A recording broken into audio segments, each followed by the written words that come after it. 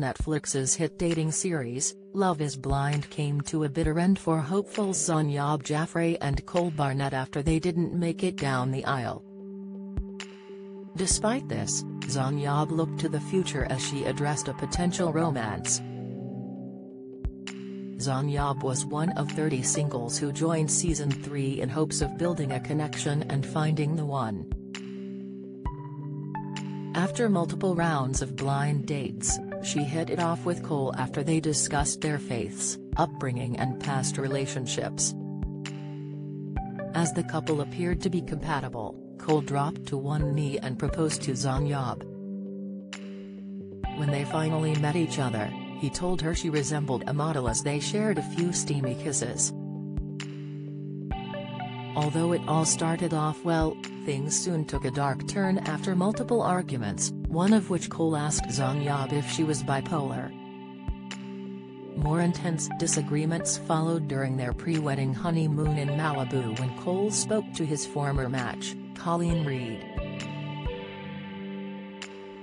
Even though at the time she had no regrets about her engagement to Matt Bolton, Cole revealed he should have chosen her. He said, she wouldn't have been the first girl I picked out if I was basing this on physically, and then adds Colleen was his type. He dug himself a deeper hole when he rates Zanab a 9 and says, Colleen and Raven Ross are 10s, to which Zanab admitted was really shy to hear. After taking into consideration their experience, Zanab wasn't willing to take things further with Cole and said no to him at the altar. Before the brutal dumping, she gave a speech in front of an audience of their family and friends, detailing the ways he hurt her. She stated, You have disrespected me, you have insulted me, you have critiqued me, and for what it's worth, you have single-handedly shattered my self-confidence. I hate that you have had that kind of effect on me, and the messed up thing is I know I love you.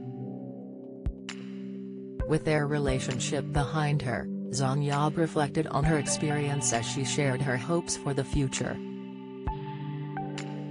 The 32-year-old shared, am so thankful for the experience, it did teach me a lot about myself. Seeing yourself in a relationship that played out and having the world weigh in, am very thankful that it led me on this very self-involved journey the last year. I would do it again knowing the outcome, knowing that I would be in the place that I am today. Zanab continued, I've learned a lot about myself, and I feel like I am the happiest, healthiest version of me. I would hope my next relationship is my forever relationship. I have this experience to thank for that. So I'm overwhelmingly thankful. Love is Blind Seasons 1 to 3 are available on Netflix.